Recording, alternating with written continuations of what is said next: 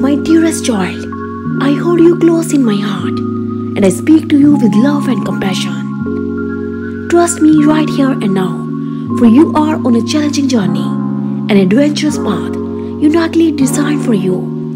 I know it's not the path you would have chosen, but it is my way for you.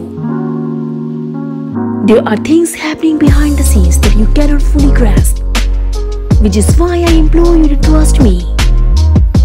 Picture this journey as a dense jungle, where the path ahead is unclear and the shadow obscure what lies around you.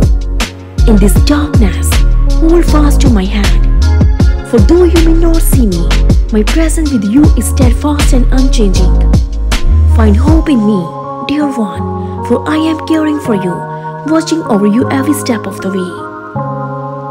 I encourage you to focus on enjoying my presence and all that I mean to you, even when your circumstances cry out for resolution.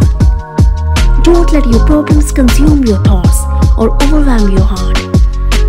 Instead, reaffirm your trust in me. Wait hopefully in my presence and witness the wonders I will perform.